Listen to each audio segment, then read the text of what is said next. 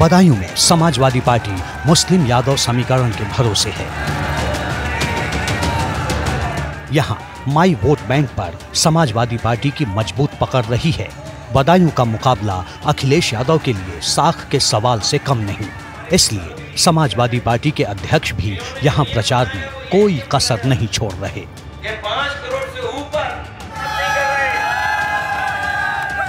उनके भाषणों में हार के रुझान आने लगे हैं।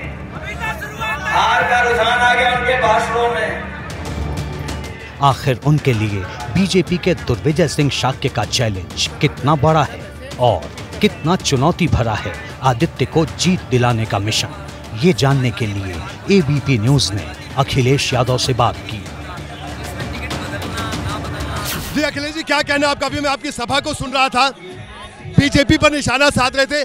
भारतीय जनता पार्टी अब भी कह रही है कि उत्तर प्रदेश में जो आपका इंडिया गठबंधन है मुँह की खाएगा क्या कहेंगे? अभी रैली चल रही है बदायूं इस वक्त बीजेपी की भी। देखिए आपको तो ये देखना चाहिए कि इस रैली में क्या समर्थन आया उस रैली में क्या समर्थन है। और जिस सरकार से किसान नाराज़ हो नौजवान की नौकरी छीनी गई हो नौकरी का सवाल नहीं है नौजवान का। एक तिहाई जीवन इस सरकार ने खराब किया है। और जो आरक्षण जिस तरह से संविधान से खिलवाड़ हो रही है आरक्षण से खिलवाड़ हुई है उसका जवाब सरकार के पास क्या है?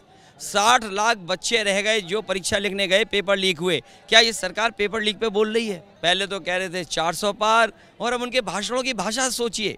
क्या भाषा हो गई? भाषण से ज़िक्र है अखिलेश जी कह रहे हैं कि आप बार बार सीटें बदलते रहे बदायूं में भी आपने यही किया कि कंफ्यूजन में समाजवादी पार्टी लोगों के बीच में ये संदेश देने की कोशिश बीजेपी कर रही है।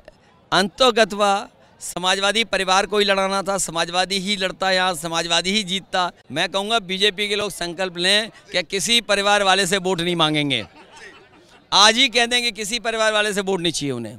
अखिलेश जी, एक और बात बदायूं की अगर हम बात करें बदायूं में इस बार आपको क्या लगता है? क्योंकि पिछली बार यहाँ पर हार का सामना करना पड़ा था, जबकि चौदह में एक लाख साठ हज़ार से धर्मेंद्र यहाँ जीते थे, लेकिन चौदह में सब उन्नीस में सब पलट गया, जबकि बीएसपी आपके साथ थे उस चुनाव में। इस बार ऐतिहासिक जीत होने जा रही है और मैंने आपको फार्मूला बताया।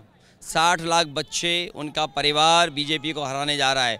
तीन गुणा साठ लाख एक करोड़ अस्सी लाख एक करोड़ अस्सी लाख का भाग दे दें अगर हम अस्सी लोकसभाओं से तो हर लोकसभा में दो लाख पच्चीस हज़ार वोट कम हुआ। इसकी भरपाई सरकार क्या करेगी?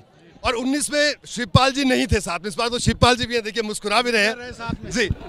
तो आपने नहीं देखा शिवपाल जी। जब, जब मुख्यमंत्री जी घबरा जाते हैं जब उन्हें बचना होता है तो चाचा ही याद करते हैं वो।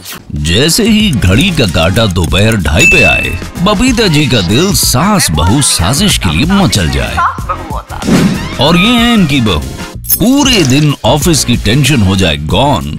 जब ये करें अपना फेवरेट शो, फ्री टाइम पे ऑन। इनकी तरह आप भी देखिए अपना फेवरेट शो अपने टाइम पर। और डाउनलोड कीजिए एबीपी लाइव ऐप अपने स्मार्ट टीवी पर।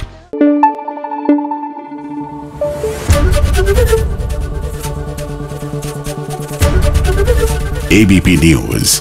आपको रखे आगे।